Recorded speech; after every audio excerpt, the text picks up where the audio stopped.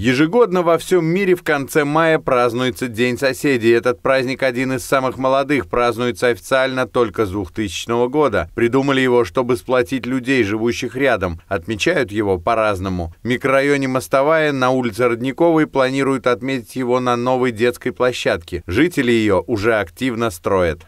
Вместо несанкционированной свалки и оврага теперь детская площадка. В мостовой нашли, пожалуй, самый лучший способ борьбы с мусором. Теперь на тех местах несанкционированных свалок, где мусорили десятки лет, жители сами убирают мусор и возводят детские площадки. Мусор на территории бросали здесь гости из других районов города, пользуясь транспортной доступностью оврага. Жители улицы Родниковая в Мостовой нашли решение проблемы сами. Здесь был пустырь, э, так как ну, земля никому не принадлежала. Э, естественно, за ней никто не следил. Э, для начала мы решили провести субботник. По окончании субботника, посоветовавшись с соседями, решили сделать детскую площадку. Работа закипела. Кто-то варил лавочки и баскетбольное кольцо, кто-то договаривался насчет техники, кто-то грузил песок, кто-то его разравнивал. Дело нашлось каждому. Все участники строительства – экономически активный слой населения, поэтому в будний день застать дома их не удалось. Работа на площадке в свободное время. Живущие рядом с площадкой довольны. Раньше здесь был мусорка. Гора мусора был. Вот, и бутылки, и стекло, и поролон, и все, и мебель тут сюда, все, всю мусорку сюда тащили и выбрасывали. Все это гнило. Комары, мошки, и крысы, все, здесь невозможно было жить.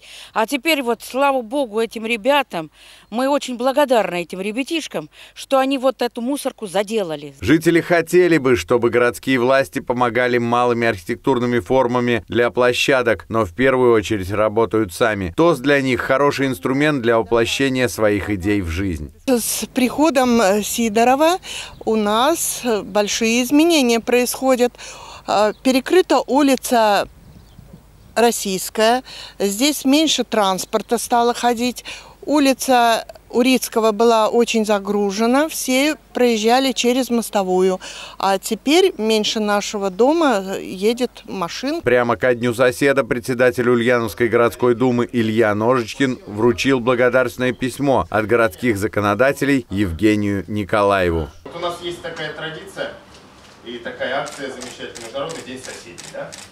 А, когда люди вместе выходят, сначала приводят в порядок то место, где они живут, улицу свою, двор, ну а затем уже а, обновляется городская среда и проводятся праздники, чаепития, обсуждается то, что еще нужно сделать в своем микрорайоне.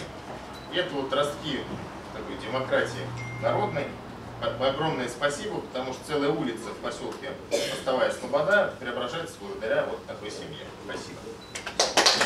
На Родниковой жителям еще предстоит установить ограждение площадки, вкопать столбы для волейбольной сетки. Песок разровняют сегодня. Им бы очень хотелось сделать фонарное освещение улицы, но это, к сожалению, они сделать сами не могут. Тем не менее, они очень рады, что в поселке есть ТОС и активные люди, а значит новые дороги, места отдыха, чистые улицы и зеленые аллеи. И предстоящий праздник День соседа тут считают общим. Мы желаем им успехов, добра и всего самого хорошего. С началом лета всего вам доброго.